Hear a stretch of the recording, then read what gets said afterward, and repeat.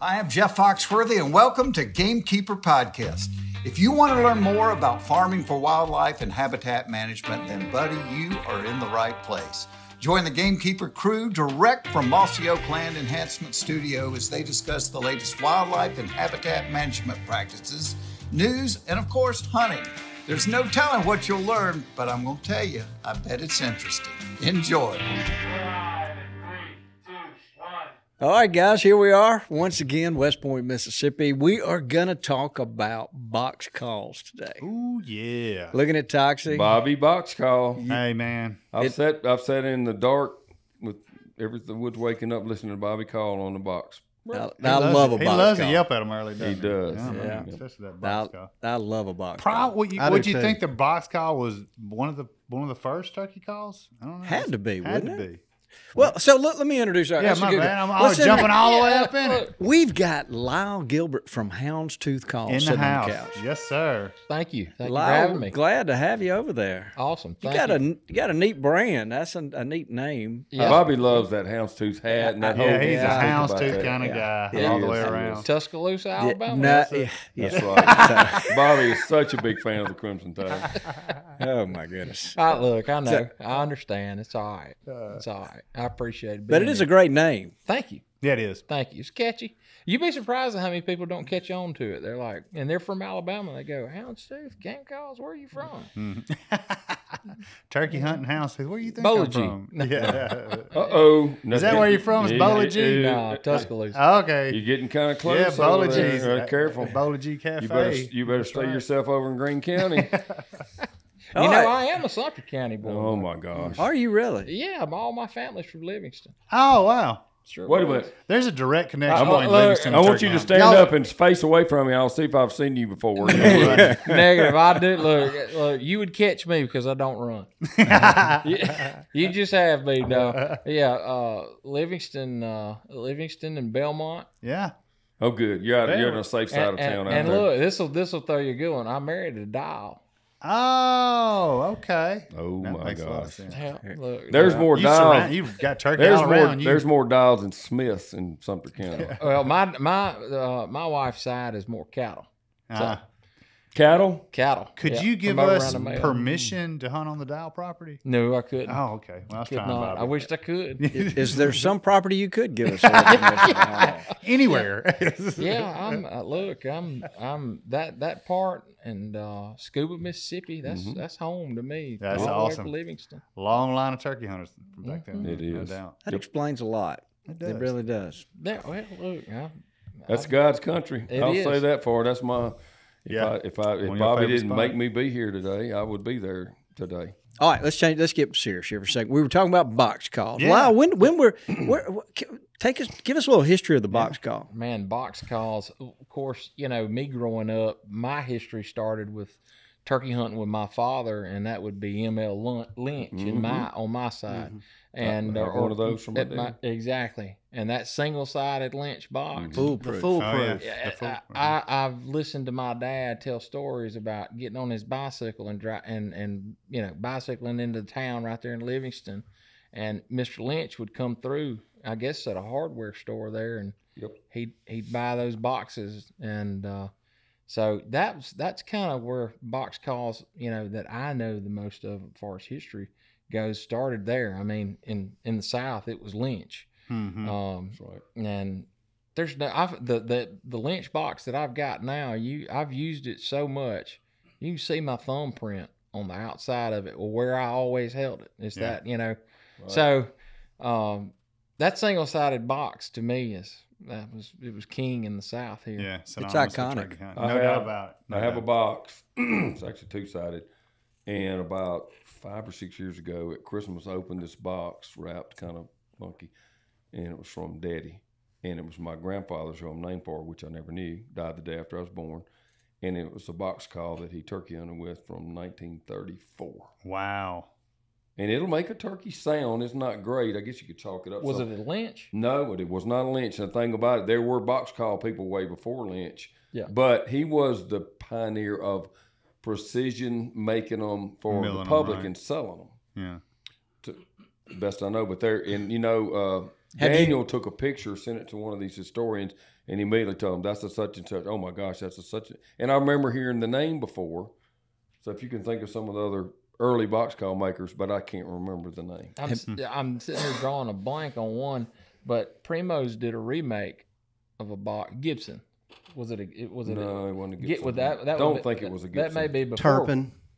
Could be a Turpin. Mm, I've got a that's not Turpin. Have you hunted with it? No, I'm not. Have you thought about taking yeah, it? but I'm so scared to take it out. It's in the gun safe down there. It's cool. I just I don't want to get it out. I'll bring it back. Oh my gosh, everybody look at that thing. I'm scared of something to happen to it. So, Yeah. I don't uh, I don't know what the origin. So are. that's My almost point in saying that it, and I know in that same time frame that uh, Mr. Fred Stimson and a guy named Jim Ratcliffe were actually this Jim Ratcliffe was making his own mouth calls, and they were in a big competition all the time. That's before, and I think that was probably in the 30s too, when it was the mouth call. They were hand making them way back then. So the origins of the box have to go way, way before that. Oh yeah, I would. I wouldn't doubt that at all. But I mean, you know, a historian at the Turkey Federation would probably be the one to tell us.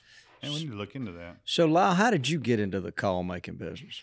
Uh, you know, that it's kind of well. I started off. I was a guide. I actually ran a farm in Scooba, um, down at Shyhammock Creek. Y'all probably. I, I know you know Chris Crow. Very well. We Oh, all yeah, know him. yeah. Well, Chris, Chris is like one of my best friends. I, I I started there when I got out of junior college, and we were, you know, guiding hunters and whatnot. And I got a little older, and So and- for the record, that's not Scooba, that's Wahalak. that oh, yeah, that's right. That's, that is Wahalak. You're That's a suburb of Scooba. That's right, suburb of Scooba.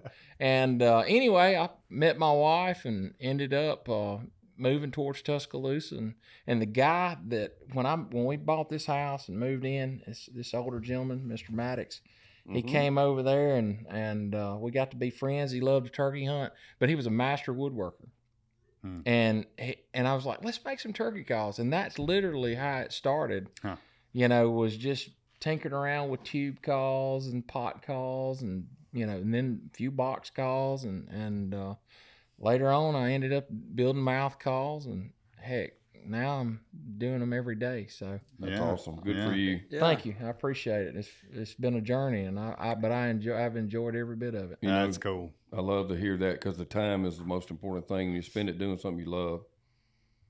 So the so the the box call is is it a big part of Houndstooth's offering? Y- yes, it is. Uh, it, it's and it's becoming more of an offering. You know, as far as like what we're doing, I've got a couple things that that you know.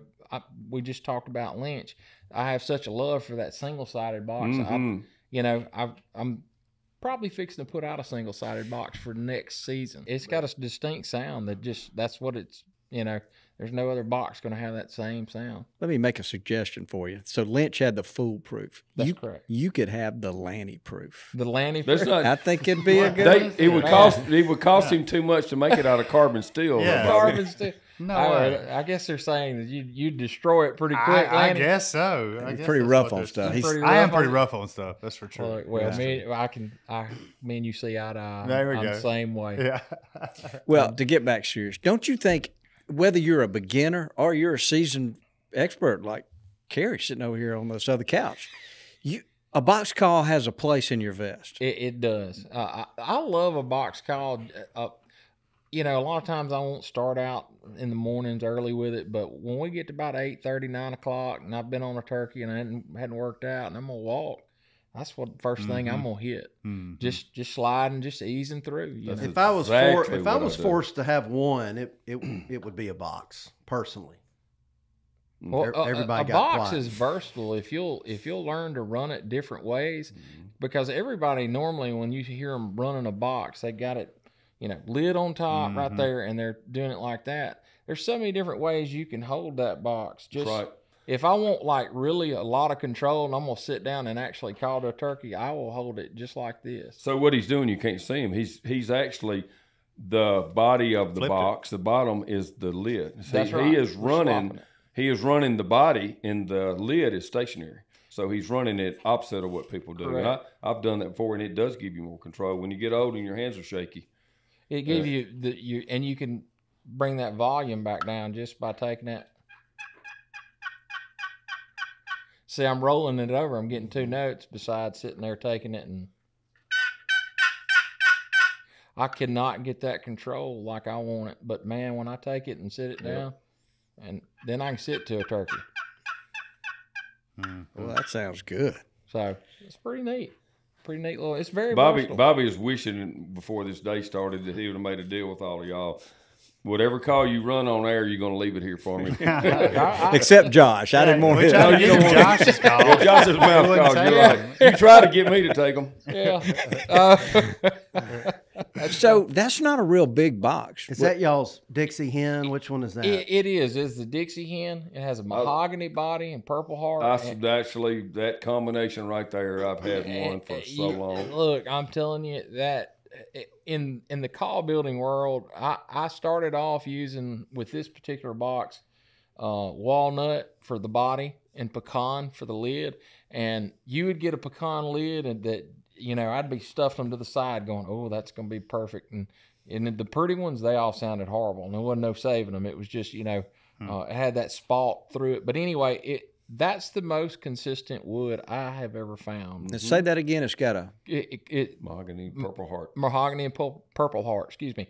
But it's it's very consistent on its yield when we're building box calls. Uh-huh. I don't that- have near the duds. They're all just they're they're awesome. Yeah, but the Purple Heart is that he's talking about an efficiency thing, but they sound great. Yeah, it's and the sound. The sound is top notch. It really is. What what kind of tree is a purple heart? Look, you're gonna have to uh, Dudley? hit that I'm- Google I'm- button over there. I'm about Let to me look ask it the up. tree guy. We got a Whoa. fact not- checker. Dudley does not know what I, There's I Mac when we need him. I only Oh know the God. natives. You know, that's probably some kind of tropical. Is uh South, South American, I think. I think that is exactly. Okay, we're gonna give think. Dudley a quick to defend. Quick I'm to defend. googling it. Bobby Dudley I say if you'll know send him on a field trip to South America, he'll Your learn that. one, ideal dendro. yeah. So you know, that, like mahogany. There's a, there's different Th- That's species. right. There's different species of Worldwide, that's that mahogany. are Yep, called yep. so. Yep. Well, I tell you what, it's it's it's pure purple. yeah. Oh yeah, well even purple heart, a lot of lids that you'll find it'll have a brownish tint and won't be quite as purple, but Yeah. but uh, Mm-hmm. That's a great. That's a great box call. it's a it's neat. I, I've always done like him. He's speaking just like my playbook almost, and I don't have. I don't think like it's smart to do this or that. It's just something that kind of comes to you. But I once I've, you know, at first daylight, I'm probably on a most of the time on mouth call, pot call. Mm-hmm. But but for one, some other reason, I've, I've always liked, and there's a little, you know, strategy behind it. When I'm easing around trying to strike one up in the morning, I almost always have used a box call, uh, not a tube call or even loud on my. One thing I've always liked to do is if I strike a turkey with one call, I want to be able to switch to another call when I start working him. Exactly. So for me, I'd like to strike him on the box call and not use my mouth calls. That's primarily what I would use working him. but then if I'm, for well, I don't know why I do this, but up in the morning I feel more comfortable as my second call. You know, I said before I like to sound like two different hens. I'll be running a box call with a mouth call up in the morning, and I don't know why, but for some reason I'm I, I just grab a pot call to do that at daylight. That is exactly what I do. And hmm, so hmm. I love I my thing. I security blanket is having that one sided box I have, and it's the purple heart mahogany combination, just like that. And I I can't even tell you how many thousands of times I've yelped trying to strike a turkey with it. See these people? When the clock strikes five, it's not the end. It's just the beginning. They have to do these things, they have to do those things.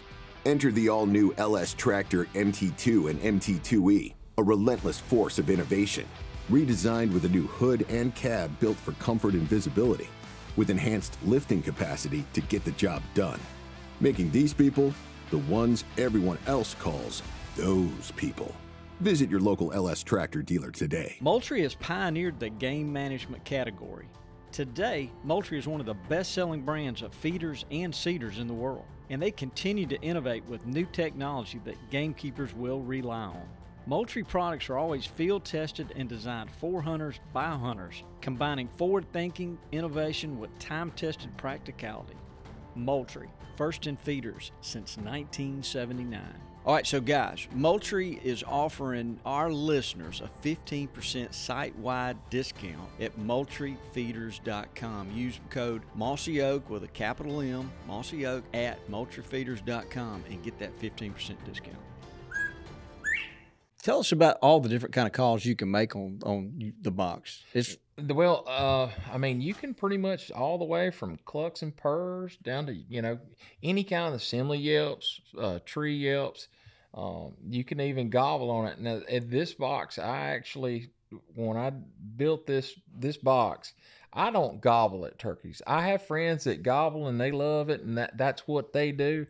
But this box here, I wanted a box that would stay quiet without a piece of white paper in it. Mm-hmm. So when you sit it down there, if you notice, it doesn't Yeah. it doesn't really make any noise. It has to come up here to activate it. Where you know uh, another box, when you most of the other boxes, you're already starting to get sound back and mm-hmm. forth.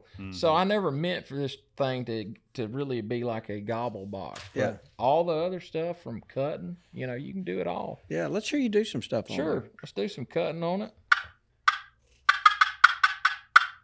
It's pretty simple. I'll let that weight of that lid. That way, it's just sitting there, and my hand just rests right there, and I'll He's keep got it. his thumb on it. Yeah. That's right. Yeah. So Holding almost straight up and down. you know, yelps.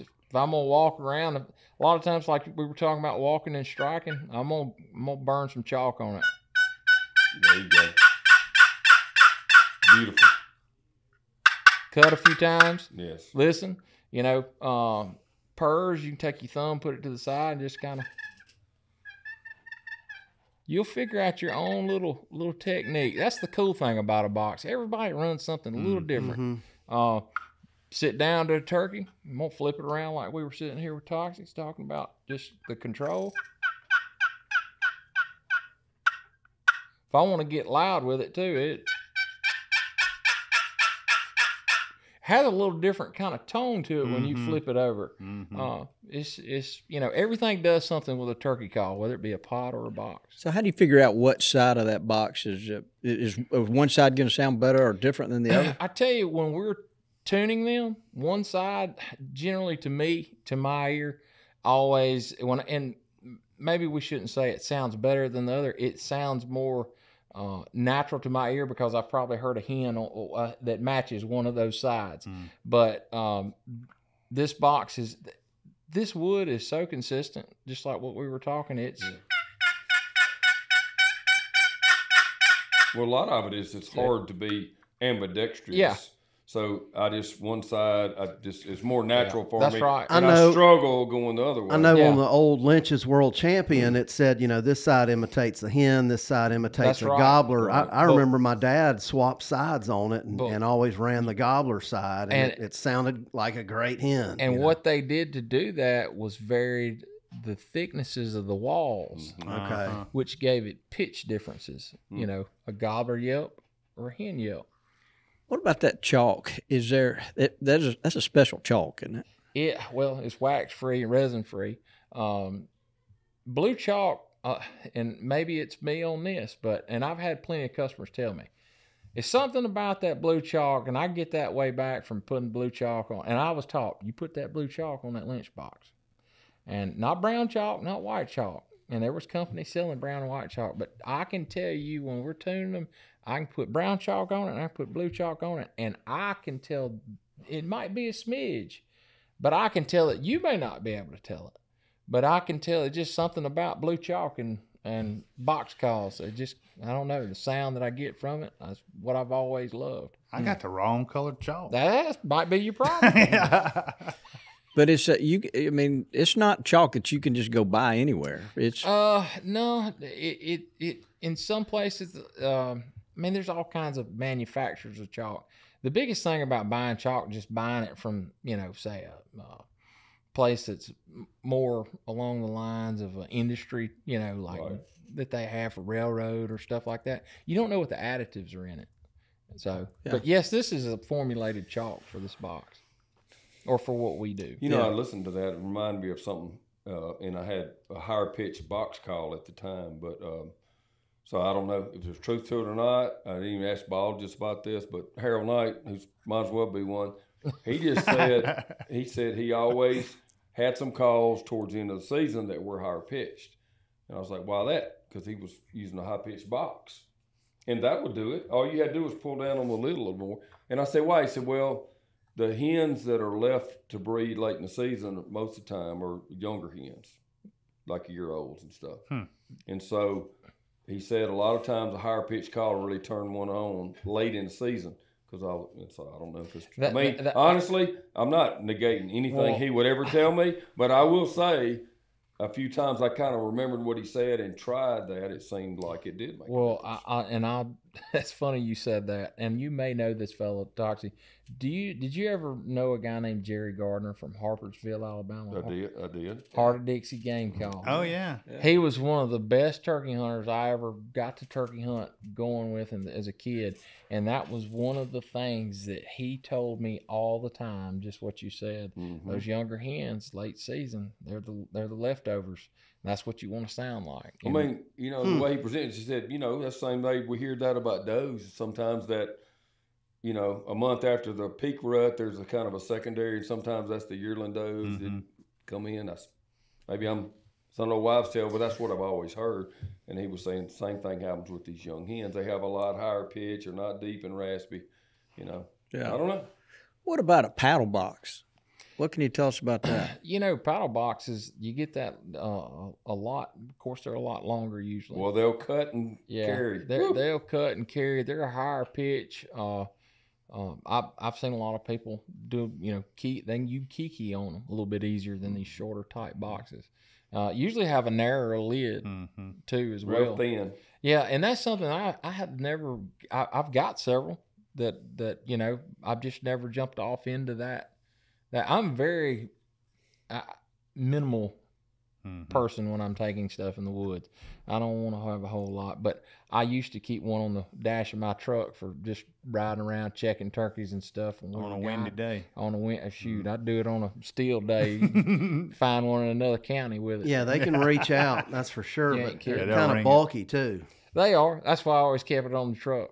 Yeah, uh, Mm-hmm. right there on the dash. What do you put in your uh, box when it's in your vest to keep it from squeaking and making noise? Generally, th- if it's any other box than this, I usually just have a rubber band on this just because it doesn't Yeah. make a whole lot That's a of great racket. feature. But like with my old Lynch box, I've always got a paper towel in there wrapped up just like my daddy Toilet did. paper. Toilet paper, Nothing- that's right. nothing Dual, fancy. dual Blue purpose. toilet paper. I have, when I stick my leftover, I've had extra glove in there. I stick that in there sometimes. 'cause I'm so tired of it squawking mm-hmm. every time. I, Yeah, it's just funny. It used to be the best clock I ever made was when you bumped your box call by Oh, yeah. Yeah, yeah, Yeah. I wish I could do that on purpose. yeah. Lanny, I had to tell you, hunting with you, you've got your phone in your pocket. You're constantly checking onX. Yep. Very valuable key features all in those things. It really is. From the compass mode to recent imagery, I mean, it really helps you understand where you are spatially, where you're headed, where a turkey is, where he was. It's a heck of a tool to use in the spring woods. I didn't realize that they're updating these maps every couple of weeks. Yeah, I'd have never known about that clear cut that you were hunting if I didn't have that recent imagery. Well, you know, and you could share some waypoints with me. I could share some points with you. You're exactly right. I mean, it has that capability. It does have that sharing capability, which is great. You know, you're wanting to show me where your goblin turkeys are. Oh man, you know onX, it's a great app. And- it's a great app. so guys can go to onxmaps.com backslash hunt and use code Mossy Oak to get 20% off. There you go. I'm a big fan of onX. I am too. What else about box calls are we not asking you? Well, uh, I think we've covered this, but this is a box call right here from a different era in time. Look Oh, at that wow. thing. Wow, I wish we could show that to people. What's that guy? And, and the cool thing about that is, is that when Looks I like a miniature steamboat. That's right. It is a box, but it's also uh, friction peg and slate. It has a you know a Look peg at in it. that. So So what do you call that?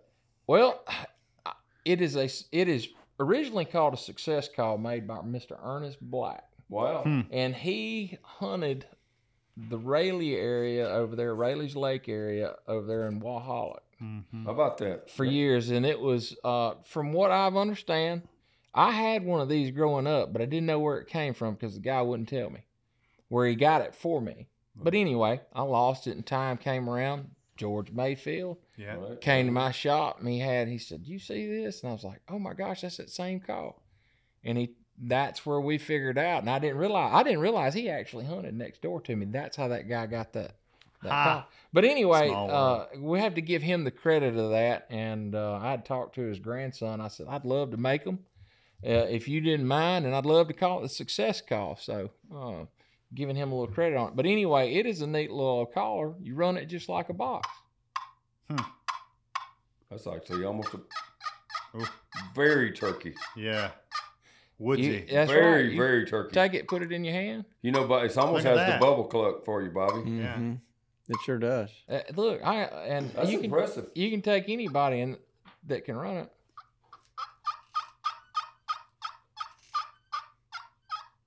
Pretty neat little call. So Hey, it's yeah. got Slate in there on a It, it. It it does. almost It's sounds You like, have to- a, But but this is what'll blow your mind. Like the the box that George gave me to you know to to remaster this, it had like a crack right here. It had check marks from I'm assuming dead turkeys. Mhm. Anyway, uh, and it sounded just like this one, brand new. And and the the thing about it was is that you never sand it. You have to sand a slate all the time or buff it, you know, to keep it from your peg. This one here, I've never Huh. had to take one loose. Let where's where's the slate It- part? it kind of sounds. We were talking Oh, about Thank jet. you so much. Yeah. It kind of sounds like a jet slate. Oh, I and look, wow. growing up in that era that we were talking about, Yeah. like I'll uh, be the lynch. Look, but I love a, I I love a Hey, lynch jet. Mm-hmm. the yes, that's exact. Huh. I was just going to say that. Look inside of it, Dudley. Yeah, Mr. George had one of these when we had him on uh, the Yeah. first time. He brought one Oh, and, and was uh, after after we got off air. Well, he- George is the one that reintroduced me back to it, and and I did the research on on on, on that, and that's I mean George is the one that pretty much That- explained to me where that thing came from. Yeah. That's cool. What, I love seeing the old come back in the new. Dudley? You're natural. You, You shame, might, you might could kill one you with that shame one. Lanny with the yipping on that thing, man. How dare you? That's neat, isn't it? that is It- it- really neat. I yeah, got to you know have the one. thing is cool about that. That might be good for the Youngins. yeah the early It- it user is. Yeah. it's got a lot less room for error than maybe just a regular box. It Look at does. that. Bobby even sounds somewhat good on it. Bobby, And- your your bubble clucks sounds I awesome. got one of these. Do you? of course he does. Well, he's a collector. He's got some cool stuff. I know he does. Of, I course, of course he does. Bobby's trying to bribe you out of your pet one. No, no, no, no. So- I, am saying I've got one of these. I know you do now. I don't need. I, but, No wonder you hadn't said a word this whole time. yeah, that's a great little call. That is Look, cool. and so none of I've y'all knew that, that. did you? No, I've never not. seen that. I've never even seen the one you've had. Lanny, there's so much about me that you don't know. I don't believe and that. y'all hunt together all the time. Yeah, I've had to do things. I have to turn around over here and do that. They hunt together all the time. Yeah, and that is Lanny a- is, the last person who's going to know what's going on in Bobby's turkey woods. I promise you one thing: if you hunt with, with Bobby, you need to let him sit down first. You never let him never take his direction on where to sit. Oh, down. I know. I'll go. I don't want to get into that today. We've got a guest over here. Yeah, you're right. Lyle, it's embarrassing. Look, yeah, true turkey hunters right here. That's right. We're all friends till turkey One season. hundred percent. And then, Then it's- ev- and then then it becomes lying. warfare. Yeah. Yeah, he did me wrong one morning. One Hey, morning. Hey, look. Make so up for the You ten did it a before bunch that. of times. So I took them. I got to just take two minutes or less. I took them both. It was late in the season, and Lanny still hadn't killed a turkey. Bobby had just killed one the day before over at like the dummy line somewhere. But hey, you know, neither one of them had just a super good year, but especially Lanny. Let's go get him a turkey, Bobby. I I know where should be a couple gobbling, and we get down there, and they were there, but they moved. Matter of fact, we were like going, and we invited Bobby just to tag along. yeah, I said, Bobby, come on. Yeah. So Felt sorry for him. Ended up on the other side across a bunch of backwater. We waited over there. We got set, struck them, and they were smoking hot. They were a I bunch mean, of two year olds. It was late in the season, time. no hens around. And I just said, Y'all, get up there, get set. They're coming, they're coming. And I just dive in behind them, calling. They're closer, calling, they're closer. Boom! And I see a turkey go down, and I jump up and I go out there, and then I see Bobby on the turkey. I said, Bobby, I thought we were taking Lanny. Well, I know, I know, I know, but I mean, I had a shot, and I think they were leaving, and whatever like that. So anyway, Bobby's sitting there holding the turkey, and Lanny walks up, and he's got his lip kind of trying to be a good sport, poked out, and I said, Bobby, don't you feel bad? He goes, Nope, not at all. Not a bit. Not at all. Not at all.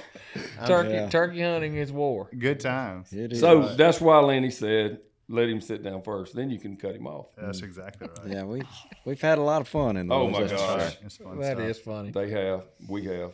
Um, Yeah.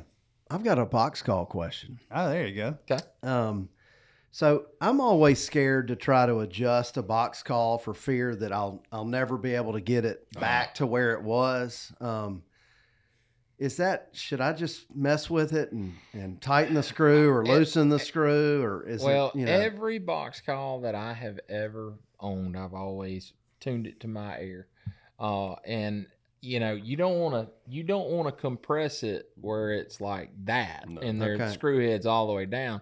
Just get it, you know, you can get it firm, but just where you can take. It. And what it's going to do is is the the lower that lid is, it's going to end up making it a actually clear yelp. And as you Hmm. bring it out, you're going to start adding the back end of the yelp, that back, you know, that last part of it where it get that rasp. Mhm. And then once you get it to kind of where you want it, you know, some people have an ear and they like a clear, clear sound. Mhm. Uh, so there's plenty. Don't I wouldn't be afraid of that. and then also is there ever a time when you need to like recondition the the lip or the sides of the call with like sanded or Normally, if I hit these sides, uh, you could take some 120 Mm-hmm. and just scuff it, not not work it back and forth. Just hit it a time or two and leave it alone. Uh, sometimes the lid, it's gonna get a, you'll you'll open your box and it'll be real slick right there where it's you know hitting the the rails on the call, and just take that 120. Some people say go left or right across it. I've always gone Right. with the grain. no, yeah, no. I call it north, North and and south. south. Well, Yeah. those instead the of going grain, like that. all the grains on all the lids I've ever looked at were running. Yeah. right That- north well, yeah, south. that's that's and that's the way yeah. it should. But Yeah, I that's the way I will sand it, and I don't, you know, I don't keep it in one spot. I try to, you know, move it around. You don't want to, you don't want to take any of the curvature off of it, but you also doesn't have to, you know, y- you're not going to change it by doing what you're talking about, as long as you're not just sitting there on that curvature, dead center. okay But uh, I do it all the time to them. So, yeah, I can understand where somebody that just hasn't ever done it is kind of scared to mess up their call and. I've done it to a bunch of them, Dudley, and I wasn't because I guess I wasn't scared. But what I found was I could get it right back like it was. But I would also find that something I liked any better was very close to what it already was. Hmm. It wasn't much up or down. okay You know? no fear I wouldn't worry about it. And then as far as chalking it goes, do you, I mean is that do you just chalk it before you leave the truck or do you chalk it every other week or you know, what? chalking it's just kind of a, a thing of feel. You know, you'll you'll know when it because Yeah. it'll get it'll it'll just doesn't play quite Yeah, it right. seems like every 2 or 3 days I want to That's right. But this wood holds chalk so well. It, The- it seems like I don't have to chalk this one as much as I did like the uh The one the I've had, I mean, even though you just even without the chalk, it seemed to still sound good. that Yeah, would probably that's- depend that's on the exactly. species of wood and the species grain. of wood and the way you run it and just the you know So I, I looked up Purple Heart, and Oh, uh, go, I hope I'm getting the pronunciation, but the genus is Peltogyne. There's 19 species in that genus. Oh my Wow. There's one called Peltogyne purpurea that I, I wouldn't doubt just by the name of it. That But- sounds right. but uh, it's in the pea bean family. It's a it's Fabaceae, Huh.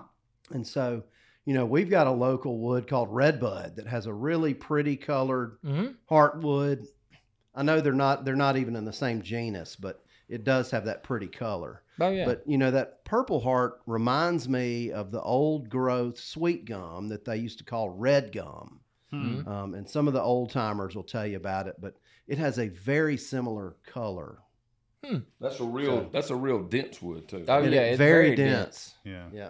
yeah I don't know where it sits on the Janka scale but I know you know Janka scale of hardness Yeah, I I look. had I, never heard of that scale. No, speaking of that hardness, have you Yeah, ever, It's like you a- ever heard of the have you ever made one out of Yeah. Bodoc? It's like a specific I, gravity. I have never made a box call out of Bodoc, but I have made tube calls, and and that's you got to have carbide tip. It'll make a good striker. Uh, it generally cutting up the blank is worse than turning it.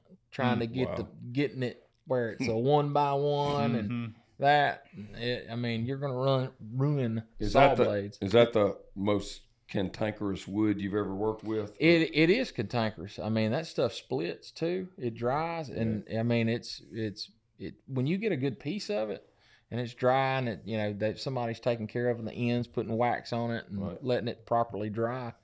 Man, it makes a heck of a, a, a turkey call. I know some friends that make pot calls out of it.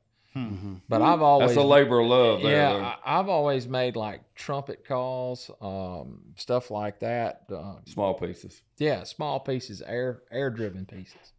Uh, makes an awesome tube call. Hmm. No. Yo, Osage Orange. Oh yeah, and it always wi- it it all. w- I usually do like a run of owl hooters ever so often in in Osage, and Wow. uh, they start off they look like gold, and then they you know they turn that Yeah, they darkish brown. oxidize. That's right. Yeah. And I was reading the same about Purple Heart. If you if It- you it treat will, it, it will yeah. brown up Che- if you cherry, don't treat it. Mm-hmm. Cherry will do the same thing in a fresh call. It'll get dark, you know, darker. But yeah, uh, that I, I say I guess I always said that's Sumter County's exotic wood. Yeah, Yeah. Yeah, for sure. there's a bunch of it. You ain't kidding. And some big ones, Osage, too. Bodock, There are- horse apple. Yeah, yeah. When you say horse apple to somebody, they go, "What are you talking Yeah. about?" So, you know, Sage Orange, but uh, Bodocks, Boise Ark. Uh, Boise I know Ark. for histor- historians' sake, I know there's old fence roads with Bodock Yeah. fence, Fence posts. posts. And I asked probably 20 years ago, my Uncle Bud, he said at that time they were over 100 years old and they were just as solid as And they don't rot. Oh yeah, But uh, what's cool is you can dig up some of those old fence posts, mud cured. and they have an iridescence, almost like you're looking at turkey feathers. And Oh, uh, but it's almost green, Wow. uh, so it doesn't rot, but it, it changes right. colors. They call it mud cured in the call making community. Mud cured Okay. Osage. So it's just the bottom of that Yeah. fence post. But that bottom turn. of that fence post. You talk about dense. It Oh, is yeah. so dense. It'll eat up a chainsaw blade it like is. iron. silica. S- uh, you see sparks. Yeah. How about that? What else about a box call do we? Can you teach us? Well, I'll tell you, a lot of I think one of the things where people might go that, that they can make their box calling go to a different level is how they hold the box. Uh, you know, I see a lot of people they'll come to a show and they'll grab that thing and they'll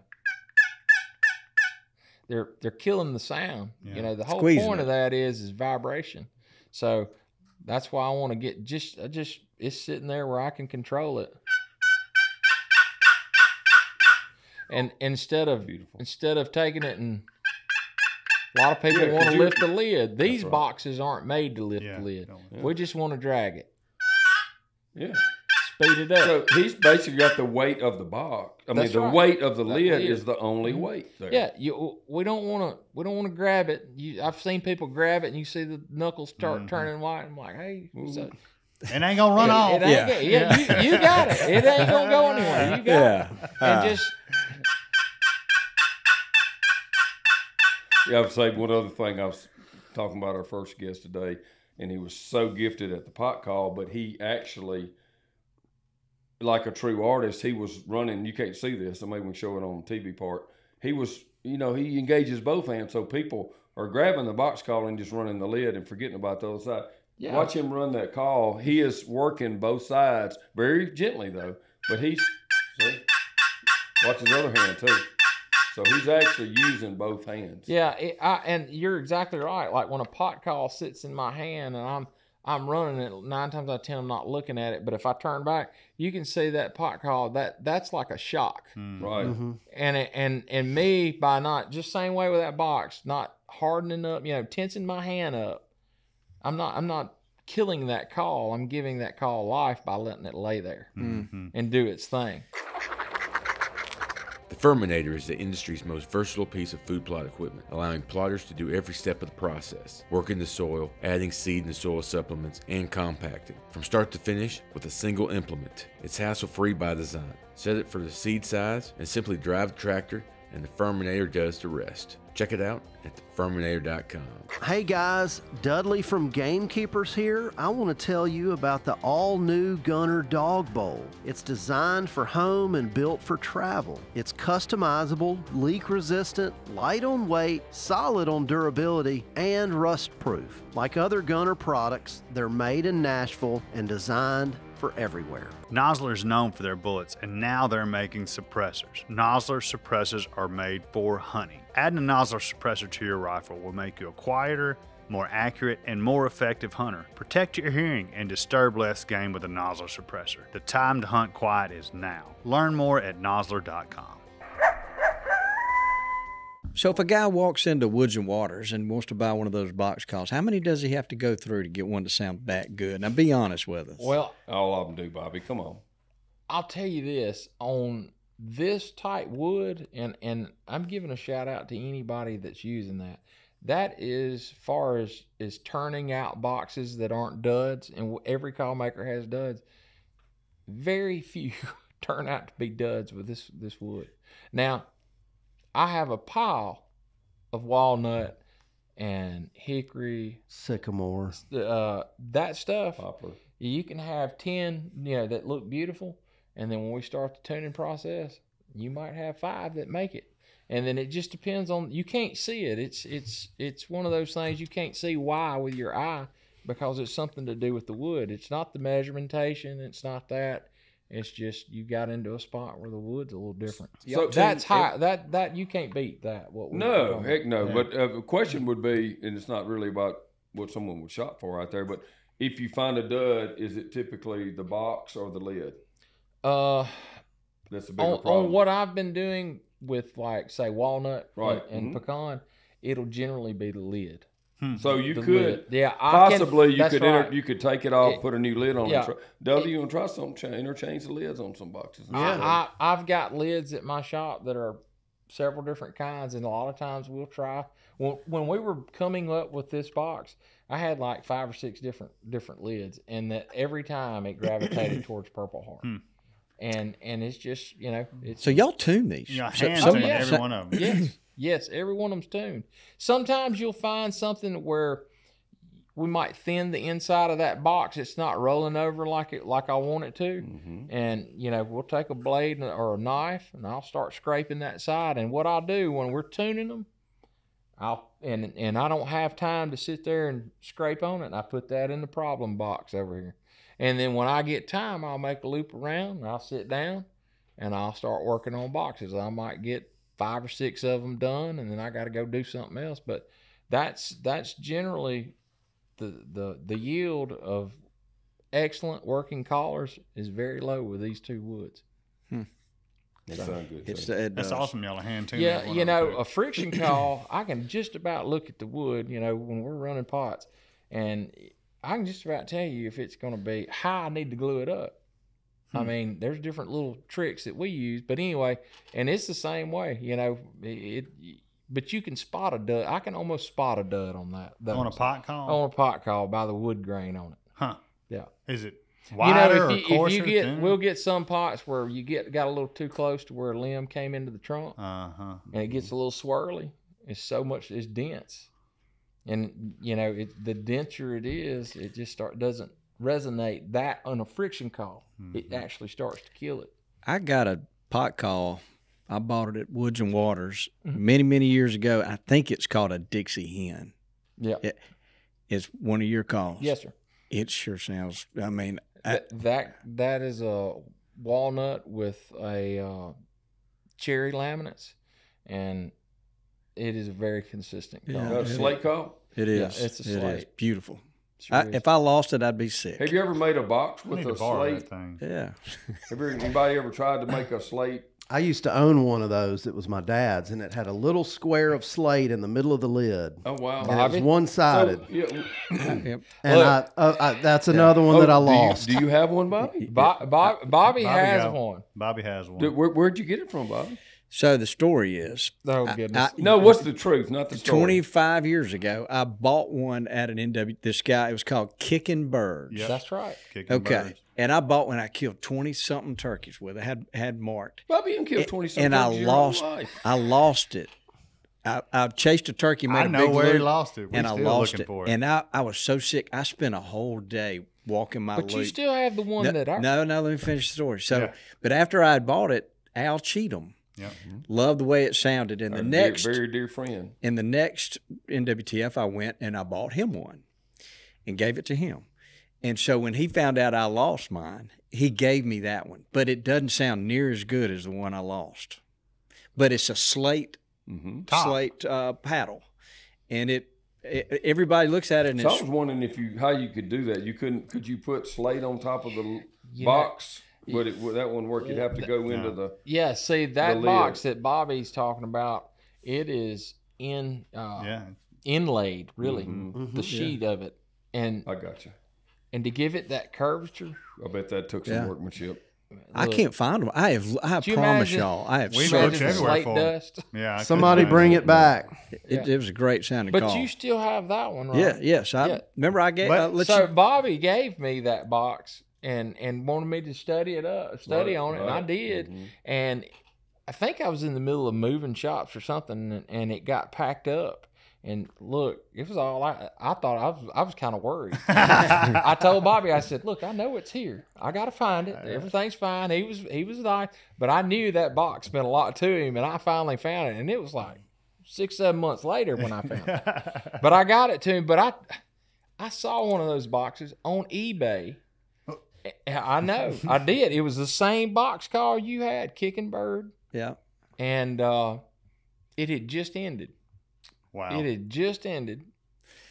I've- And I thought about you. I was like, man, I bet Bobby would have loved to known that thing That's was on there. good sounding little call for sure. Yeah. But it was a slate box. and it was heavy. I think Yeah. almost it was like the this part of the body is that long, Very deep. very deep, and I, it almost like felt like a piece of teak, you know, teak wood in your hand. So you're going to make a one-sided box for next year. That's my plan. Yeah, and so what? wood those same two woods? Purple That is Heart where Rock? I'm. That's Yeah, where I'm That's going what I'll with do. it. Count me in. yeah. Got you. I want to buy one. Me too. Yeah. Look, yeah. y'all be my first first people. Yeah. Bring us f- one, two, three, four, five, six. There you go. And, Bob, and, Bob, and Bobby, will- Bobby, Bobby will buy them all for us as a As a, Christmas as a present. Christmas, Christmas present this present, year. yeah. Yep. He's a So, uh, do you ever do anything? Can you cackle on your box? Do you ever fool with that? I mean, I, Well, it's yeah, pretty I mean- easy to cut on a box Yeah, it's call. pretty but- easy to cut. I mean, You can do a fly down, I know. Cause uh, yeah. you Well, like a you know in- a fly down's just beautiful. you know cackling. I remember growing up. yeah. my dad would say, "You cackle," you know, and he'd go, "Yeah, yeah, yeah, yeah, yeah, yeah, yeah, yeah." I never do that anymore. My, Like- da- my yeah. dad did it all the time. and, and when you just said that, you know, like the people I hunt with, I never hear them do that anymore. I hear turkeys every once. in I a while I wonder do. why.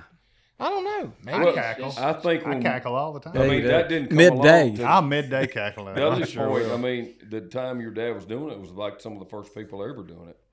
So it was a new sound. well, but and- now know. you see people cut on them a lot, you know, where they put their thumb as a bumper and, and pop it. Oh yeah. He was, you know, moving the lid really fast, you know, kind of a yeah, yelp note yeah, really and, fast. And, and people, you know, they're just uh, it's it's not easy it's like to do. a fast yak, yak, yak, yak, yak, yak. It's really not a cackle. It's almost like a yelp. uh, like a fast Yeah. yelp, Yeah. excited Exactly. yelp. Exactly.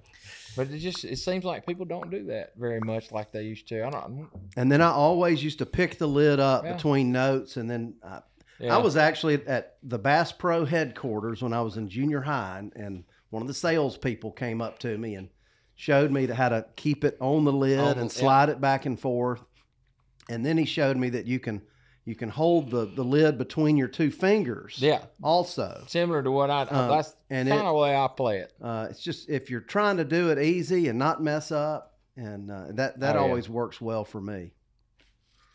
I tell you, Lyle, it's been interesting. I don't know what else to ask you. I'm, I, I, I know I, I kind of told you we'd love to hear one of your favorite turkey stories. Maybe, yeah. maybe Yeah. you could tell us that, and if there's any more questions, we can think of them here. I tell you, you know, I guess one of the most, uh, and, and he's a prior guest, was was calling up some a turkey for George, Mm-hmm. and uh, and it really wasn't for George. It it was, as George put it to me, it was. He said, "This is your hunt," and uh, I didn't know George that that well at that time, and and uh, we were we were hunting some turkeys that were off roosted off some water right there, and I didn't know George that well that at that point in time, and, and anyway, he's kind of pushing me along, and he he leaned over, and, and I was I was kind of hesitant about you know pushing on like I would do turkey hunting, but he assured me, hey, you do it, you play it like you want to play it, and I was like, okay, and anyway, I must have played it right. I yelped up these turkeys, and uh, I killed this turkey and and turkeys out there flopping. And I I just kind of kept calling. I remember this dirt mound. It was about from from I guess maybe from me to you, Bobby, and I'm pointed this way. George is right there, and it was like a periscope. I don't know how that turkey that turkey came to me after I kept calling, and uh, but anyway, I can remember I, tur- I just looked, and this turkey head just starts coming up over this hump of dirt, and George is there, and I'm like, there he is right there, George, and George turned around, and I mean, I don't know how he hit him. I mean, he's from me to you. It's wide. I mean, it's like that, and I mean ear holding. Had a hole in it, and uh, I was sitting there with George and and just kind of going over the hunt, and uh, he's always George's always been somebody that's always pushed me. Like with the once we got to be friends with the cause, you know, keep keep pushing, keep don't worry about what people think. Just keep rolling. You keep do do right, be a good person, keep rolling. And uh, anyway, George uh, George told me he said, you know, he said there's not too many people that's ever called up turkeys for me, and I thought that was a, a cool thing coming from him. Uh, because I imagine a lot of people didn't call turkeys up for him. He was always taking care of somebody else, you know, as a guide and whatnot. And and there's a bunch of them. And I always want to. I've always liked George. George's always been been a close friend. And every t- every the one thing about it, the hunts I've been on George, they've always been like something funny about them, something something off off the wall. And uh, I actually called a turkey off George one morning for a, for a guy named Steve Bowman uh, that was with BASS, and and Steve had a, a blue Bassmaster hat on his head when he killed him. I was and I never, you know, there's always something funny with it. So, Mm-hmm. uh, but no, I, I that's one of my favorites. I could go on and on about Bobby's favorites. called a few turkeys off George too. I know. Look, I know. They've been neighbors for a very long time. Yeah, we have. I, I know. I know y'all have. That, that, uh, George called me one time. He was stuck back there at the back of that place. I was thin and You're- tim- I was I was thin when and you're timber. stuck on the south end of that place, you are stuck. Well, I walked in from that dirt road to get to to Oh, to help him. I walked all the way to the back. He was hung up on a stump, and I was like, I was pretty strong. I was like, we'll get that ranger off of it. I'm sure we can get that. I had to walk all the way back out. I did. I was thin and timbered down the road there for uh, AGC, uh, right there, um, forestry background and stuff. But anyway, uh, he's he's a mess. I I I I, I knew y'all were neighbors. Yeah, he's quite a interesting guy to talk turkey to talk about Well, that- turkeys. yeah, that's neat. He he was interested in seeing how you how you did it. He was. He was kind of testing me in the woods, you know. And uh, when, I was nervous. I'm not going to tell you a lie. I was nervous. I mean, uh, he, he's taking me there on this place, and then he leans over and says, pushes me kind of on the back and says, "It's your hunt." Do it your way. Uh, yeah, I, I I thought that was a unique thing to say. I I've never like it, it makes me think about my my child, my son, and want to just say, hey, it's time for you to let's let's watch you do it, not me do it. Exactly. Yeah. So that that's what it stuck out to me. I guess as a unique thing. You got kids? I do. I have two. Are they are they interested in hunting? Oh yes, sir. My uh my stepson, he's his uh his grandparents from Scooba, so he's always turkey hunting around Scooba there. And then uh, I've got one that's 17 years old. That's uh he's man, he's ready to turkey hunt. He's been going by by himself and scouting and walking. So Hmm. you know he's he's ready. I'm looking forward to it. I'm actually going to get to take him to Florida. So Nice. I Oh, got a that's qu- good. quick trip, but Yeah. it'll be fun. Ain't nothing like hunting with them. That's right. I love I love hunting with kids. Oh yeah. Speaking of, that just made me. I, I've never asked this, Toxey, but was there a day when you like? I'll just say Neil. Did you let say okay? You can go by yourself today. Um, yeah, there was actually. He, you know, he took to it a little younger than Daniel, and we both all knew it, and so we were all staying in, in the other little cabin we have up there in uh, Sumter County, and I, I said, you know, because I knew he, you know, he was just gonna walk from the cabin. He wasn't wait for him to get off lost or anything. He was always good with directions, but he wasn't. He might have been nine, ten, maybe. Uh, it might not have been ten. I hate to say it. He was by himself. Probably shouldn't have been. People don't get mad at him, but anyway, I went.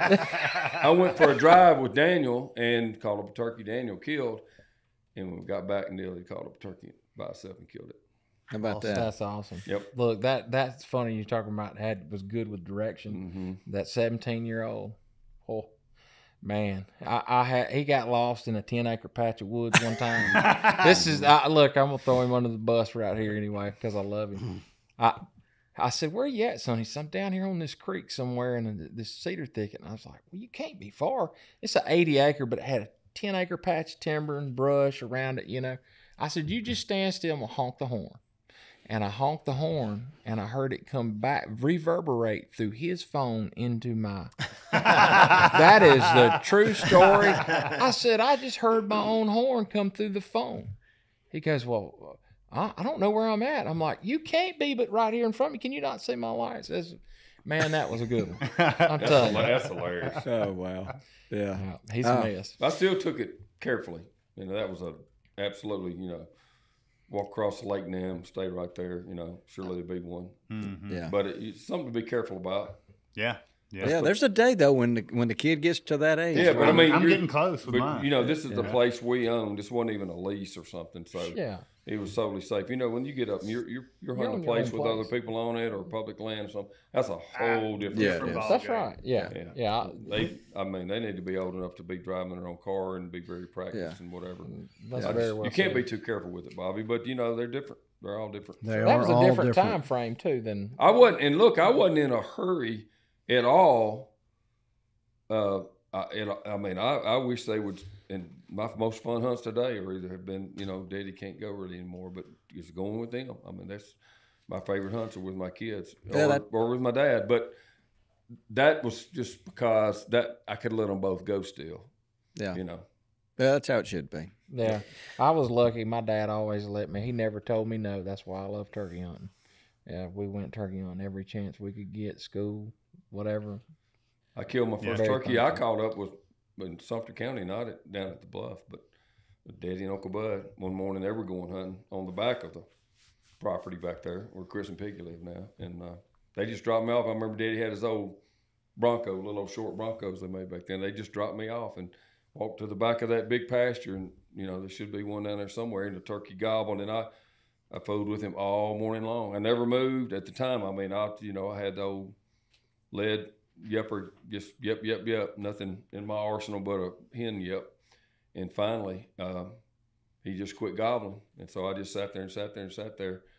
And so I'm gonna get up. They said I forgot I had you know everybody had a watch back then. They said they would pick me up at ten o'clock. I better get back up and leave. And so I called a couple times, and he didn't gobble. He'd been been gobbling for a while. And I was just fixing to get up and I look from the total opposite direction. Here he came out of that pasture. and He walked down the hill. I killed him, and I was the most proud, prouder than when I shot my first one with him or anything. That's the proudest I may have ever been. It's a Yeah, big yeah. step doing It it is on your own. Yeah, It really is. yeah. You And he said, just like you did before, he said, son, when a, when a young man is old enough to go out on his own and take game for the family, it's the first big step from a boy becoming a man. hmm And it's just like an old Western movie or something, but he told me that. I, man, I bet you was puffed up. Yep. Yeah, that's good I was very puffed up. Yeah. He was puffed up. yeah. I, I'm getting close. So. Well, Lyle, we appreciate you coming over. Yeah. yeah. thank y'all for And we're, having me. we're real proud of Houndstooth. You guys Well, uh, I- hear I- good things. Well, thank you. We appreciate y'all's support. All of Mossy I think y'all need to get Bobby a houndstooth hat to wear. you know, uh, I'm not opposed to, and I, I it's the it's the No, the I'm not hounds- talking about that. I'm talking about the sure enough Yeah, houndstooth. no, yeah, no, I, I, Oh, prob- yeah, prob- I you- you probably, talking about, I yeah. probably wouldn't do that. fedora, maybe one of those houndstooth fedoras. Oh, he'd look good. man. Bobby, I tell you, we'll make a bed, and I'll wear, you know, something that looks like Auburn. If you, I'm not even I'm Auburn Auburn? Mississippi State, but Yeah. I just know how it wears on Bobby. So Yeah. Oh, no. Well, so Kerry Wicks, does he really sound that good on a mouth call? I know. He sure feels like Hey, he he's, does. he's pretty he's pretty good on a mouth call now. He's he's a good turkey hunter. Hit it, Kerry. The KB The, the hen. only He thing, won't do hey, it. look, the only thing when, when Kerry started turkey hunting with me, he goes, "I don't know how you hunting this thick stuff." Yeah. Because I can remember Kerry. That's the truth. There was a turkey gobbling. Kerry was trying to get settled down. He, he had his camera equipment, and man, those those sawbriars were getting a hold of every little old thing hanging off, you know. And it is, it's totally different regions where we hunt a lot, Yeah. but uh, Yeah, a lot of that. good turkey. a lot hunter. of that stuff in Tennessee is just you know closed canopy hardwoods. Hey, he's educated on turkeys and what they do I and why they do it. I I mean, that's why he gets those pictures. I That's think right. I think it's easier where it's thicker. Myself. Yeah, you had to come around the corner Yeah, and see you, you. you've got a you've gotta a, come look, you you got know. an advantage. You, Yeah, you you do. paint a picture to him Man, right you- there, and he'll me, walk into a trap. You catch one in a wide open park looking spot, woods. That's the hardest thing mm-hmm. there is. Yep. So well, thi- would you do us a favor and let us know when Carrie's going to be in Alabama so that we Yeah, just we- give us a heads up? knowing. give give Yeah. y'all heads up. Yeah, And so we we can avoid it. him, or Yeah. so we can what, Well, Bobby? just so we can. be pay attention. That's right. We just ain't got to pay attention. Pay attention. Well, look, I'm exhausted. It's been a long day. Well, You brought it stacked us up. brought it Yeah, on. you You stacked us up, dude. I did. I am. Hey, but we're real lucky. All these guys are in town, you know, for the thing at the store. So and the the film uh, Yeah. tonight. So we Yeah, appreciate y'all be being exciting. here and being It's in the be studio. exciting. Oh Goes gosh, way we're better when we're people gonna are talk. here. We're gonna have to get together and talk about that next week. yeah, Yeah. yeah, we will. Bonus thing.